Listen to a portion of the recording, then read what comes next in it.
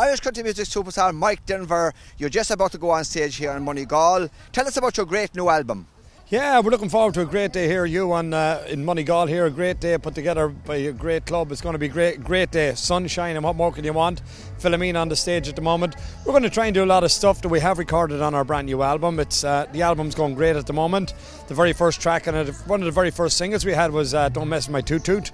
Then the likes of Nancy Mulligan followed, and Galway Hey, and then we had "Hey God," which is a hugely popular song for us and uh, maybe one or the two newer ones as well, the likes of Billy Can't and San Bernardino, Want You to Want Me, all these songs. Enjoy Yourself, which was the title track of the album. These are all coming now, so we're, we're hoping for a great day here. We want the floor to be full and all the co- hot country listeners to be out here dancing to us. You're heading down to Killarney on your uh, weekly We Wednesday are, yeah. night shortly. That's starting. It's hard to believe 12 months is over now and back to the summer. Every Wednesday night for July and August now in the Gleneagle, one of the great, great country music venues. And of course, you're heading to Scotland. Yeah, Scotland is coming up at the end of uh, end of October, I think. Looking forward to that again. We haven't been there in 12 months, so it's great to get back there. It's always a great place for country music. Yeah, it's very, very similar to home, so it is really. It's it just has that feel. They love the country music, they love the Irish music, and they're watching all the channels. They're watching yourself. I'd say it's it's it's hot country, and these things are uh, as popular as Coronation Street or any of them at this time over there. So it is. It's great going over, and they love the shows.